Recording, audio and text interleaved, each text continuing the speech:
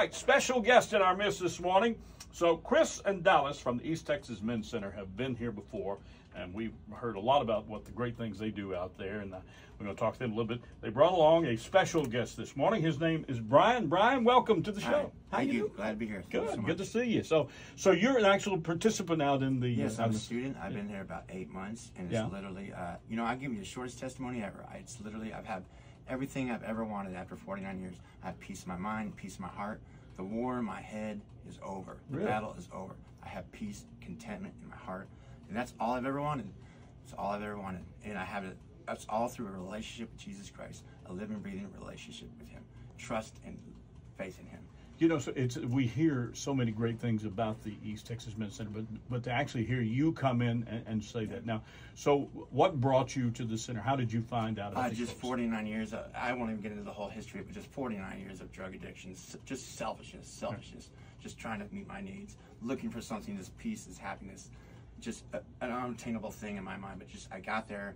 The program is very difficult, very challenging. It just forced me to rely 100% on God. And now, eight months later, I shouldn't say this in front of the director uh, and the staff because they'll just make the program harder, maybe. But I find this, I feel like I'm at a summer camp. I mean, the days are long. I'm busy. These guys know it. I'm, I'm busy every hour, every minute, every day is accounted for.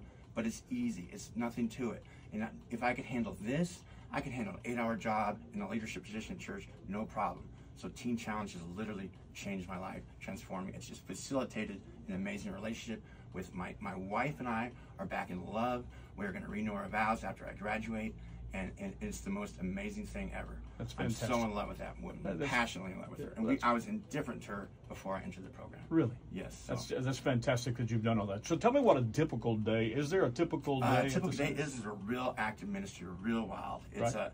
I have a job in, in marketing. I work in the office, but I could be pulled in ten different directions during the day, and I love it. One day I'm driving a tractor. This literally happened two weeks ago. Mm-hmm. One day I'm in the kitchen. One day I'm ministering to uh, new students, uh, teaching them the Bible. And uh, I help out in education now, and it's just it's just amazing. It's amazing the versatility of this ministry.